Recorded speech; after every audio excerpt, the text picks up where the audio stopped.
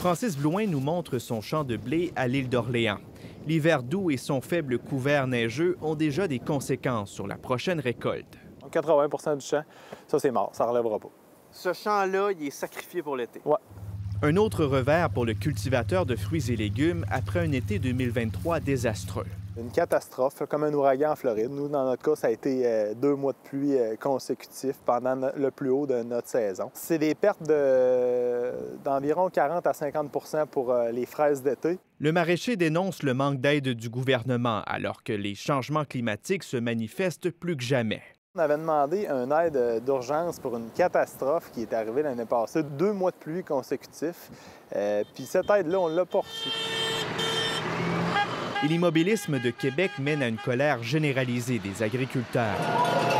Depuis des semaines, ils sortent dans la rue avec leurs tracteurs partout au Québec pour demander de l'aide et des changements. On veut vous entendre! Bruno Gosselin et ses trois frères préparent leur semis de choux de Bruxelles, la culture principale de leur ferme. Ça va passer l'été dans le champ, puis on en récolte jusqu'à la fin novembre. Mais les temps sont durs, leur travail est de moins en moins rentable.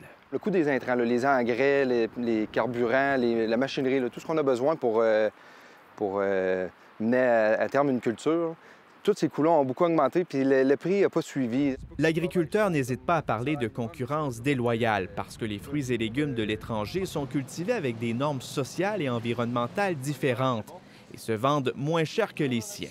Mon compétiteur, ça va être le chou de Bruxelles du Mexique.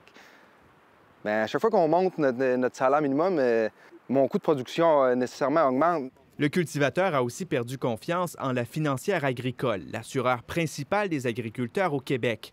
Il soutient que les programmes sont mal adaptés, notamment aux intempéries de la météo. Le montant qu'on reçoit est tellement euh, pas ridicule, mais c'est trop bas, beaucoup, beaucoup trop faible pour me sécuriser mon entreprise.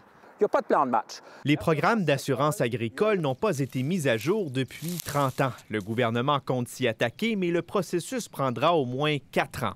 Trop long, disent les maraîchers. Le, le rocher à gravir pour avoir un succès devient tellement énorme que euh, les gens se disent est-ce que le jeu en vaut la chandelle? Les normes environnementales contraignantes et la paperasse jugée trop lourde sont aussi un problème qui empêche les agriculteurs d'être dans les champs. Ces nouvelles normes-là sont, sont, conçues pour le secteur industriel et sont conçues pour des multinationales, alors que les fermes maraîchères au Québec sont essentiellement composées de petites et de moyennes entreprises avec une structure de bureaux qui n'existe tout simplement pas. Faut les accompagner de la meilleure façon, c'est ce qu'on cherche, c'est ce qu'on cherche à faire. Le ministre André Lamontagne soutient qu'il entend bien les demandes des agriculteurs, mais que les problèmes sont complexes, uniques à chaque entreprise et arrivent tous en même temps. C'est plusieurs éléments conjoncturels qui, ensemble, bien, ça fait comme un, cocktail là, qui, peut causer des difficultés à plusieurs de nos entreprises. La réforme de l'assurance récolte prendra du temps, mais il explique que le travail est déjà commencé. Il y a peut-être des choses que déjà dans la prochaine année, on va être capable de mettre en place. Il y a peut-être des choses que ça va prendre davantage de temps. Ce qui m'inquiète aussi, c'est euh, moi, comme d'autres producteurs, on ne peut pas reprendre une saison aussi difficile que l'année passée. Francis Blouin est inquiet pour lui et les autres producteurs de la relève. Qu'est-ce qu'on veut voir, c'est ça. On veut voir si la, jeune plante va, va se relever de l'hiver. Puis là, ça semble beau. L'agriculteur s'accroche à ses jeunes pousses.